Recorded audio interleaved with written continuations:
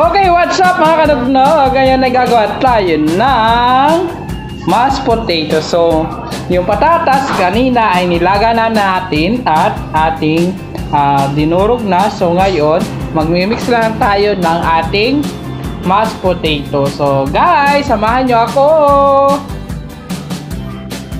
Ayun guys, ang gagawin natin ay ating na uh, i-microwave natin yung ating butter para siya ay matunaw. So, lagay natin sa mangkok para ilagay natin sa microwave. Para sa paghahalo natin sa kanya is madali na lang. Liquid na siya. Hindi siya buo-buo. So, ayan. Kasi medyo marami yung ating potato. So, need na marami rin yung ating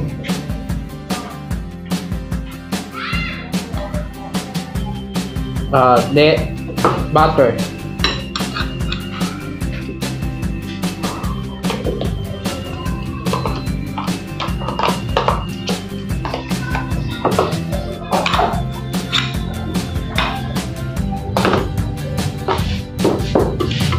So, lagay natin, palusawin natin sa microwave.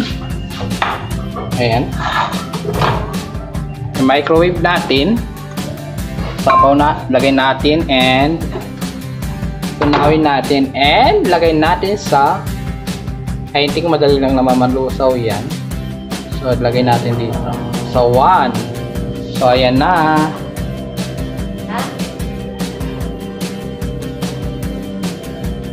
And after niya, malulusaw na yan. Balikan natin mamaya pag lusaw na. At dahil natunaw na siya, okay, mainit.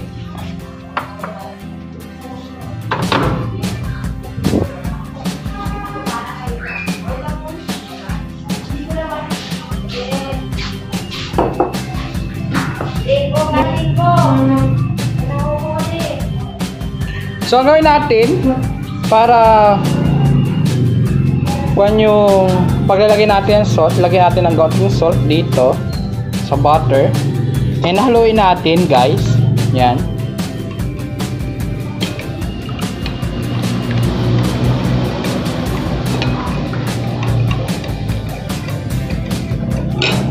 And ilagay na natin yung ating potato na ah dinurog natin.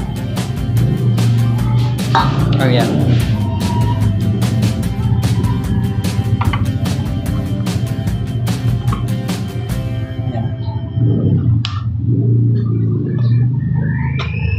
So, lagay na natin. And, yan. And ilagay na natin tong ating butter.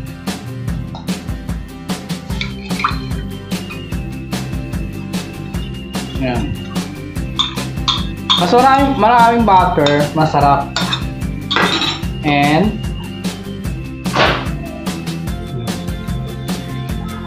And dahil tayo ay marami tayong gatas, lagyan natin siya ng gatas. Milk. Yan.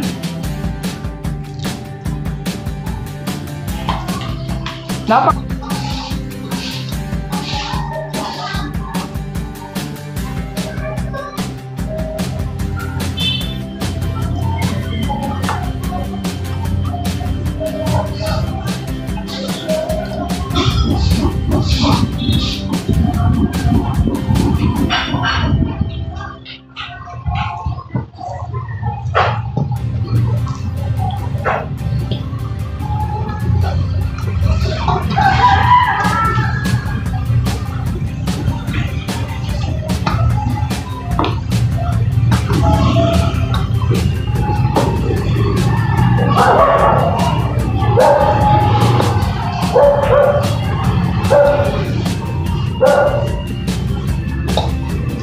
Ano? Kulang to.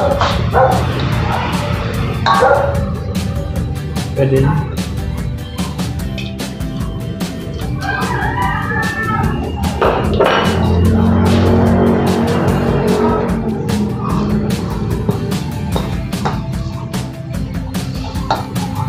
Anak ka. Ay.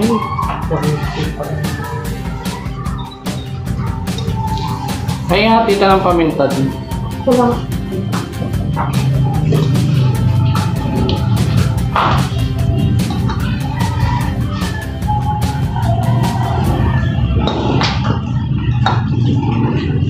Nilagyan natin siya ng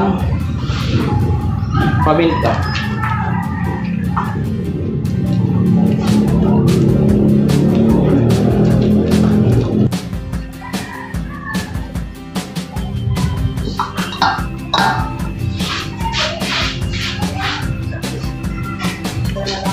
At dahil tayo gagawa tayo ng gravy, kailangan natin ay cold water.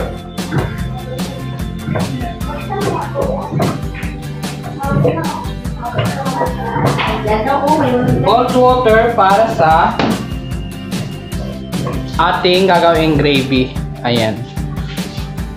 So, gagawa tayo ng gravy. Ilang cubes sala? Dalawa. Then, kuha tayo ng tinidor. Yung ating gravy is, ah, yung binibili nila natin sa supermarket. So, hindi ko na sabihin yung brand kasi hindi naman siya bayad. So, sayang lang. Okay, hindi ko na ipakita ko ng brand. Yan. Tapos, lusawin, tunawin natin. Yan. Bakit kailangan cold water yung ating ah, ipagtunaw? Kasi pag mainit o hot water yan, mangyayari magbubuo-buo siya. So, pag nagbubuo, hindi maganda yung ating textures. So, ngayon, ay ating tunawin lang. At habang tinutunaw natin, ayan, matutunaw yan eh.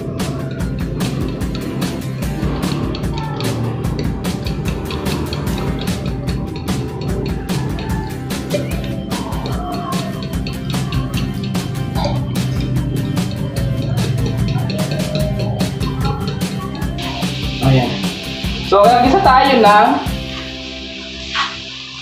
butter. So, nilagyan natin ng nor cubes para maglasa. Okay?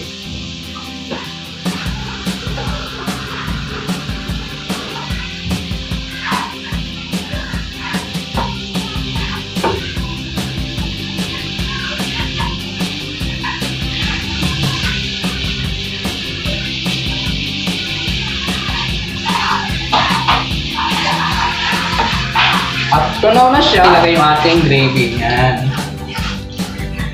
So, dito, hintayin natin siyang matunaw.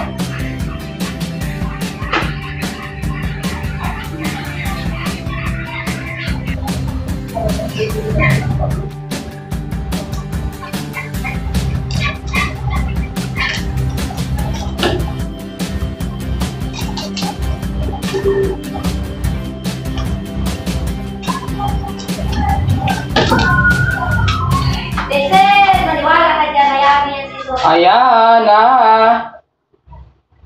Meron tayong gravy with mashed potato. So, ayan. Huwag kong maingay.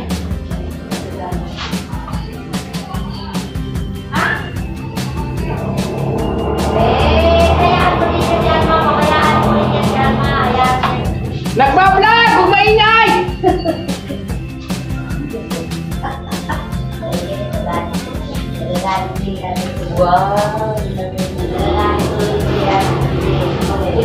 please welcome mga judge.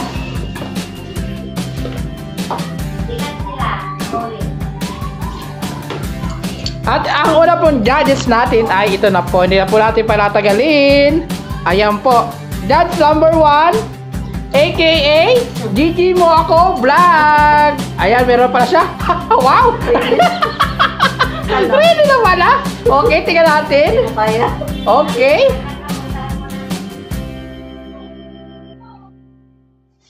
Masarap.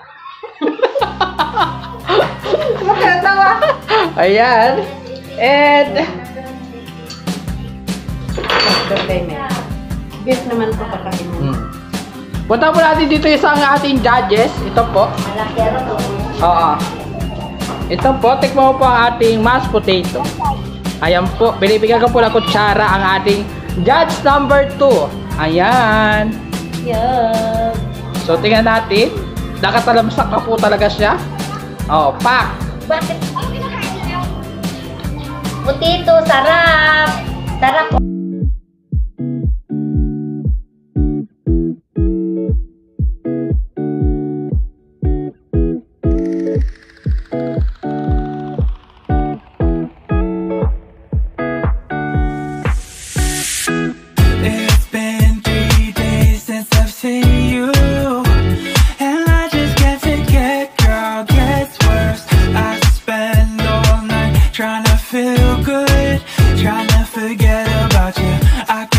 thinking about you. Oh, I can't explain just what you've done.